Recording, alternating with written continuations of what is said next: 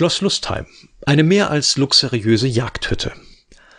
1680 hatte Kurfürst Max II. Emanuel, den die Türken wegen seiner weithin sichtbaren Uniformjacke den Blauen Kurfürsten oder auch den Blauen König nannten, die Regierungsgeschäfte in Bayern übernommen. Er kümmerte sich zunächst um den Ausbau der Münchner Residenz. Nach seiner siegreichen Rückkehr aus dem Feldzug gegen die Türken, die damals Wien bedroht hatten, widmete Max Emanuel sich neuen Projekten.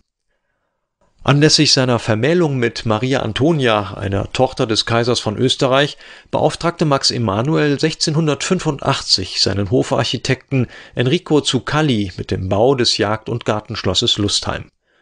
Das Schlösschen sollte für Feste nach der Jagd und als Einkehrstätte bei kurzweiligen Ausflügen dienen. Für dauerhafte Aufenthalte war es nicht vorgesehen.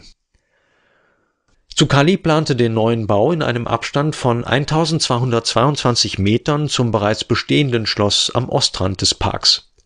Es sollte auf einer kreisrunden Insel mit einem Durchmesser von 255 Metern errichtet werden, durch einen doppelten Wassergraben vom Park getrennt. Optisch sollte es den Abschluss des barocken Hofgartens mit seiner zentralen Mittelachse bilden. Der Ziegelrohbau wurde in sehr kurzer Zeit errichtet. Ein Festsaal erstreckt sich über zwei Geschosse, ähnlich dem steinernen Saal in Schloss Nymphenburg. Von hier gelangt man in die seitlich angeordneten Räume des Kurfürsten und seiner Gemahlin. Das Obergeschoss beherbergte einst die eher einfachen Räume für das fürstliche Gefolge. Küche und Aufenthaltsräume für die Dienerschaft befanden sich im Keller.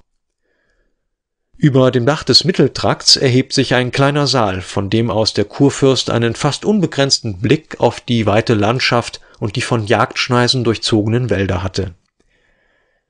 Der Festsaal wie auch die fürstlichen Räume im Obergeschoss sind mit kunsthistorisch interessanten Deckenfresken ausgemalt. Sie verherrlichen unter anderem Diana, die Göttin der Jagd. Die Wände der kurfürstlichen Räume waren ursprünglich überreich mit Damast bespannt. Gleichzeitig mit dem Schloss begann man mit der Errichtung der Kolonnaden hinter dem Schloss, die in einem weiten Rund die beiden Pavillons verbinden sollten. Hier waren die Orangerien und Gasträume für adlige Besucher vorgesehen. Bautechnische, vielleicht auch finanzielle Probleme sorgten jedoch dafür, dass die Bauarbeiten eingestellt werden mussten. Nach dem Tod des blauen Kurfürsten überließ man die bestehenden Bauten zunächst dem Verfall, bis man sie schließlich 1741 abriss